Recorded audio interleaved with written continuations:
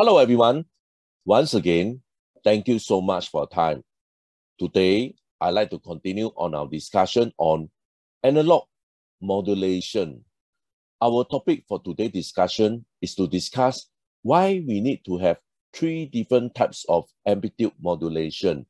Okay, so they are actually denoted as DSBFC, which stands for double sideband full carrier, double sideband suppressed carrier, and single sideband suppressed carrier. So this video, we are going to understand why we need to have three forms of amplitude modulation. This will be the part six series discussion. The earlier on series discussion, I have put the video link under the description. So please go through the video if you're keen to know more about analog modulation. This is my email. If you have any question regards on today's discussion, please send me an email. Before I continue, I'd like to urge you guys to support this channel by pressing the like and subscribe buttons. Please also turn on your notification bell in order to receive more info from this channel. Thank you so much. Okay, firstly, let's understand why we need to have double sideband suppressed carrier. Okay, this diagram here shows the double sideband full carrier because you can clearly see that there is a power okay, at the carrier frequency for double sideband full carrier.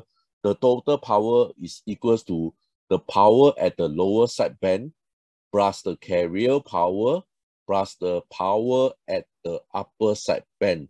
So these three components actually contribute to the total power.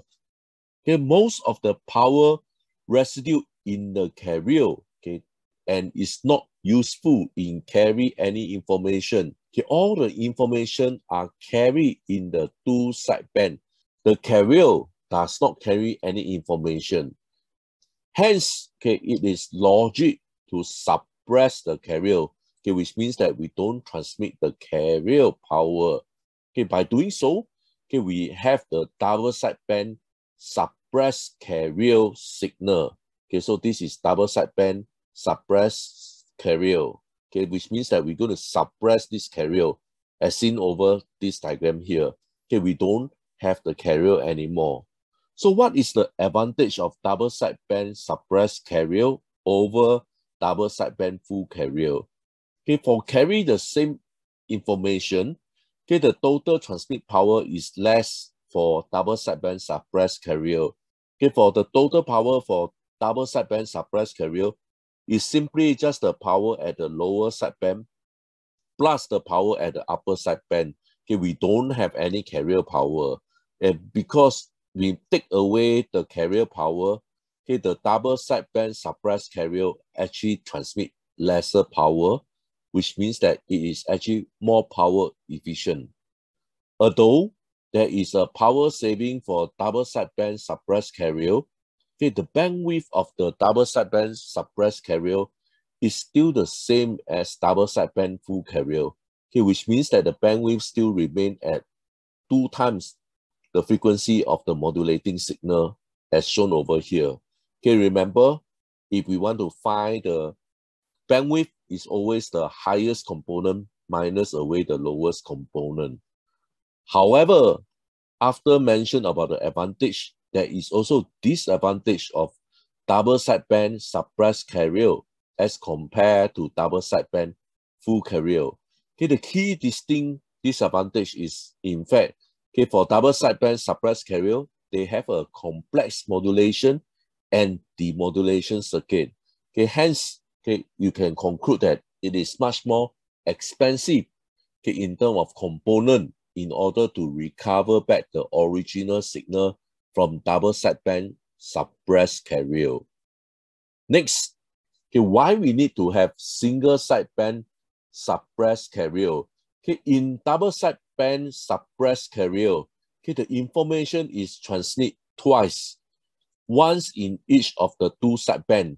Okay, so take a look over here. So this is what it means. We need to send the signal twice, one at the lower sideband and another one at the upper sideband. Therefore, if one of these sideband is suppressed as well, it will become the single sideband suppressed carrier signal. So this is what you mean. Either the lower sideband or the upper sideband. So either one, they actually form the single sideband suppressed carrier. Okay, however, you can see from here, the bandwidth of the single sideband suppressed carrier okay, becomes smaller, okay, which is the frequency of the modulating signal. Okay, remember earlier on is two times the frequency of the modulating signal. But for single sideband suppressed carrier, okay, the bandwidth is actually just the frequency of the modulating signal. Okay, however, due to the decrease in bandwidth, okay, single sideband suppressed carrier transmission, okay, they have lesser noise. Okay, you can see from this formula here, this N, okay, which is the noise, is equals to KTB. This is a Boltzmann constant. This is a temperature in Kelvin. This is bandwidth.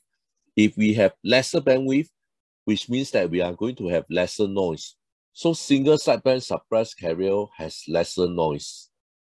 what is the advantage and disadvantage of single sideband suppressed carrier?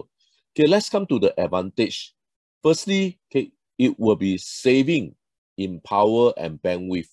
Okay, so like what I mentioned clearly, for this total power for single sideband suppressed carrier is simply just one of the sideband either the lower sideband or the upper sideband, okay, which means that they actually transmit lower power.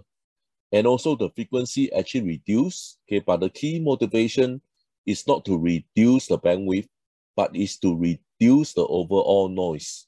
So therefore, single sideband suppressed carrier have a clear advantage of having lower power, saving the power, and they also have lesser bandwidth, which contribute to lesser noise.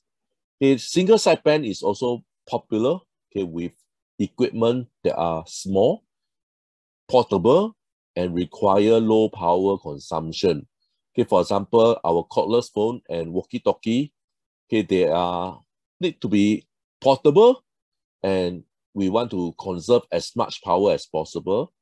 Hence, single sideband suppressed carrier is actually preferred for cordless phone and also walkie-talkie.